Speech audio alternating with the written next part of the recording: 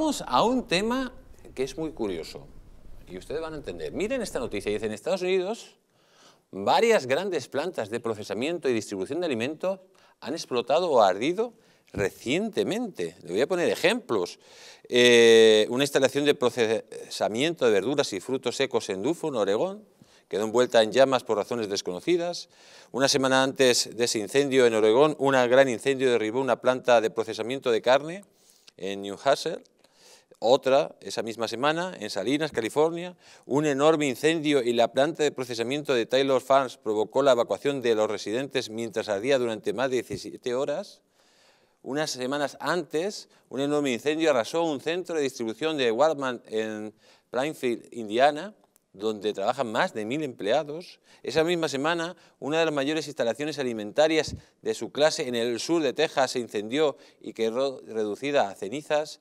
Antes de incendiarse, las instalaciones de Río Fresh en San Juan, Texas, donde cultivaban, envasaban y enviaban una variedad de productos cultivados en Texas, prácticamente eh, todo esto se lo repartían entre, a todo el estado de Texas. En Irvington, Oregón, en febrero una enorme instalación de procesamiento de alimentos explotó repentinamente.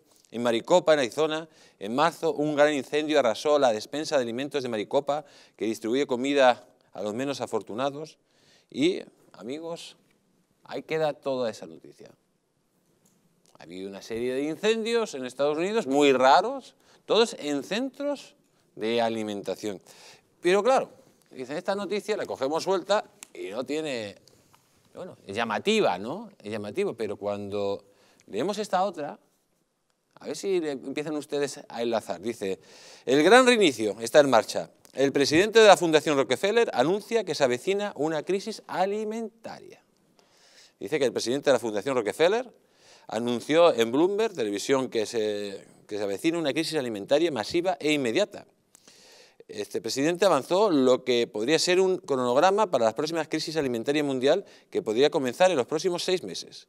Dijo que las interrupciones en el suministro mundial de fertilizantes causadas por la guerra de Ucrania tendrían un impacto aún peor en la crisis, reduciendo drásticamente los rendimientos de los cultivos en todo el mundo. SAT dijo que el alivio de la deuda, prorrogando los vencimientos y las subvenciones para los países de mercados emergentes, son necesarios para mitigar los efectos de la crisis alimentaria. La aparición de SAT en Bloomberg es interesante debido a la intensidad con que esta entidad viene trabajando respecto a la necesidad de reestructurar el suministro mundial de alimentos y hacerlo más sostenible. La función tiene puntos de vista estrechamente alineados con el Foro Económico Mundial, abogando por un reinicio global, recordando las teorías eugenésicas de finales del siglo XIX y principios del XX.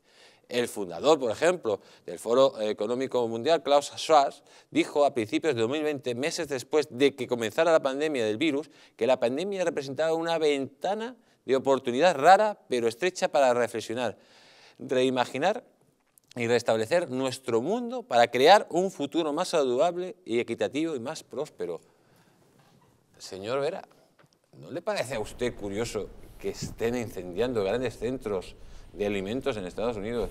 De repente la Fundación Rockefeller habla que va a haber una crisis alimentaria a nivel mundial, habla prácticamente de seis meses. Parece que nos están preparando para lo que, para lo que viene, ¿no? Bueno, lo primero, la verdad es que yo no había tenido esa, esa noticia y ciertamente es muy sorprendente ¿no? que se puedan producir eh, en tantas ocasiones y eh, unos eh, incendios que son muy parecidos y que afectan siempre pues, al sector alimentario. La verdad es que sí, es muy llamativo. ¿Que tiene relación con lo otro? Pues no lo sé, vaya usted a saber. Lo que sí es verdad es que esto que dice la Fundación Rockefeller, pues hombre, ellos hacen análisis de la situación, en de, de, lo que está ocurriendo en el mundo y llegan a conclusiones que me parece que en este caso pues eh, pueden estar bien orientadas, porque fíjese una cosa, o sea, ahora mismo ya teníamos el problema de la crisis de la pandemia, ¿vale? Que nos eh, produjo pues, un problema de suministro mundial por la crisis de los contenedores en, Asia, etcétera, etcétera. Pero es que ahora eso se va a seguir reproduciendo porque tenemos a, media China, o por lo menos Shanghai y alguna ciudad importante más, y la posibilidad de que sea incluso Pekín eh, con confinamientos, con lo cual eso se va a reproducir de nuevo. Tenemos el tema de la crisis energética derivado de la, de la invasión de Ucrania por lo que afecta al petróleo y el gas ruso, pero tenemos también todo, todo aquello que estaba enviando al mundo y exportando al mundo a Ucrania, que en materia, por ejemplo, alimentaria era muy relevante. Por ejemplo, pues todo el asunto de los granos. Se ha dicho siempre que Ucrania es el granero de Europa y es verdad. Y había, hay muchos países que estaban viviendo de ese eh, granero de Ucrania y que ahora tienen una dificultad eh, para, no sé, para su vida cotidiana y para abastecer a sus poblaciones, no solamente en Europa, sino también en Asia. Pero es que además de eso hay un problema con el aceite de girasol. Ya hemos visto lo que ha pasado en los eh, centros comerciales, que mm, no hay en muchas ocasiones aceite de girasol.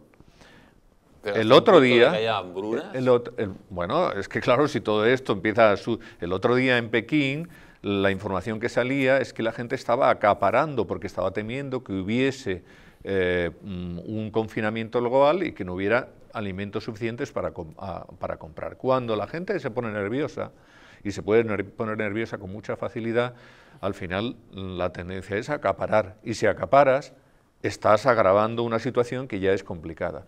Iba a decirle que ahora, al no tener girasol, por ejemplo, el precio del aceite de oliva en España ha, subido una barbaridad, pero está habiendo otro problema que yo le he dicho el otro día a Indonesia, que es que ellos, que son productores mundiales de aceite de palma, que se utiliza muchísimo, pues en no ser en, en toda lo que es la producción industrial, lo van a, lo tienen que también racionar porque no tienen suficiente para que toda esta demanda que se está produciendo de acuerdo con el hecho de que el, girasol eh, escasea. Entonces vamos a tener una situación con que el gasoil no hay suficiente gasoil ya hay una, una, voz de alarma diciendo que no hay suficiente gasoil porque eh, hay un problema de producción derivado del hecho de que el gasoil se produce a raíz del petróleo, pero también del gas. Como hay un problema con el gas y con el petróleo, esa producción eh, está escaseando, de ahí que esté subiendo tanto el precio del, del, gasoil que está por encima del de las gasolinas.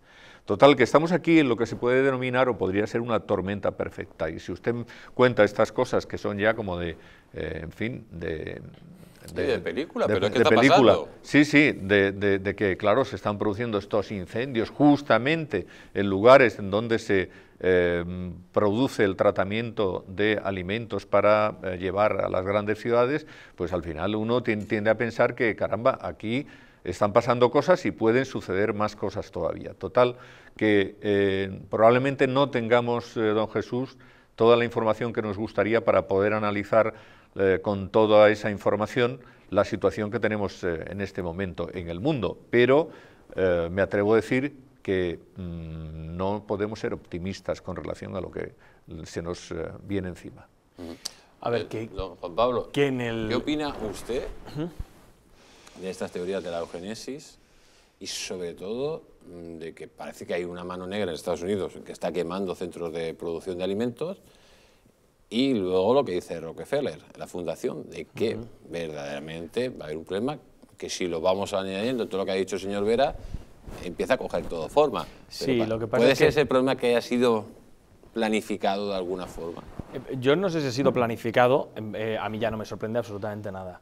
Lo que, lo que sí que sé es que si hay una mano negra, eh, va a necesitar muchas cerillas esa mano para, porque son seis fábricas en Estados Unidos. Quiero decir, si realmente hay algo detrás de esto, quemando seis fábricas en Estados Unidos, se hace daño, por supuesto, a los empresarios que las regentan, pero no se hace ningún daño a escala ni siquiera regional en Estados Unidos eh, para, para, que haya un problema de desabastecimiento allí, en ese punto, en ese punto concreto.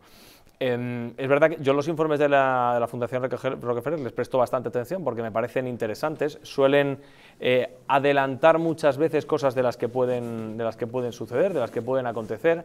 Em, lo que pasa es que, eh, a ver, yo las teorías de la eugenesia y tal, em, eh, a mí me parecen también me parecen relevantes, me parecen interesantes. Hay, hay, por supuesto, alimentos en el mundo para alimentar a todos los 7.000 millones de habitantes de, este planeta. Cuando el mundo llegó a 3.000 millones de habitantes se decía que es que no iba a haber alimentos, que no iba a haber capacidad para sustentar y abastecer a toda la población mundial y te das cuenta de que efectivamente no es así, sobre todo por un motivo en concreto. Y es que a pesar de lo que muchos intentan hacernos ver, cada vez hay menos pobres en el mundo y más gente trabajando en el mundo. Cuando vienen a decirte, no, pero es que el nivel de pobreza que hay a nivel mundial, etcétera, cada vez, no, no, cada vez no hay más pobres en el mundo, es justo todo lo contrario. La gente en este planeta a nivel global cada vez vive mejor. Cada vez hay más gente que vive con más dinero al día, cada, ah, vez hay más gente que sale de los, límites mm, eh, de la pobreza radical en la que se encuentran, etcétera, etcétera. Entonces, este tipo de teorías que dicen que no, que en el planeta cabemos unos poquitos y tal y cual, bueno, de momento los que estamos cabemos y de momento los que estamos vivimos cada vez mejor. Así que ya hay ciertas teorías ante las que evidentemente con, eh, los datos en la mano te das cuenta de que son eh, totalmente descerebradas. Eh, amigos, miren, vamos a leer la siguiente noticia, que ya en su momento ya salió, que decía que Bill Gates se convierte en el mayor propietario de tierras agrícolas de Estados Unidos. Y yo, en base a lo que hemos hablado, de que según la, Fundación Rockefeller, va a haber un problema alimenticio en seis meses. Eh, lo que hemos hablado de los incendios del centro de, abastecimiento de, comida. Le, voy a preguntar al señor eh, Fernando Martínez Dalmau, ¿usted cree que es lo que pretende esta gente, sobre todo, es empobrecer el sistema de ganadería y agricultura actual para que surjan nuevos sistemas eh, alimenticios como la carne sintética que quiere vendernos el señor Bill Gates? Bueno, esto eh, es un hecho, ¿no? El hecho de que, lo, tradicional eh, lo quieren arrinconar y no hay más que ver a nuestro ministro Garzón, ¿no? Cada vez que abre la boca, cómo sube el pan, ¿no? Esto, esto como dato, ¿no? Y, la verdad es que sí, están intentando nuevas producciones, pero además controladas por ellos, que es lo que más me preocupa a mí. Y luego el hecho de que los problemas globales que tenemos ahora mismo en el mundo, del gas, del petróleo, de, con China además podemos tener otro problema, Curiosamente, Bill Gates se haga con tierras cuando puede, haber una escasez, a lo mejor no hay una, no hay una escasez, pero sí existen monopolios. Y a mí es lo que más me preocupa, la economía. La economía mundial que esté en manos solamente de una determinada élite de poder o un establishment de un, existente, como puede ser esta gente, Bill Gates, Soros, etcétera, compañía, ¿no? Eh, que intentan monopolizar absolutamente pues, todo aquello que represente un cambio por, por donde quieran llevar ellos el mundo y no por donde nosotros libremente decidamos.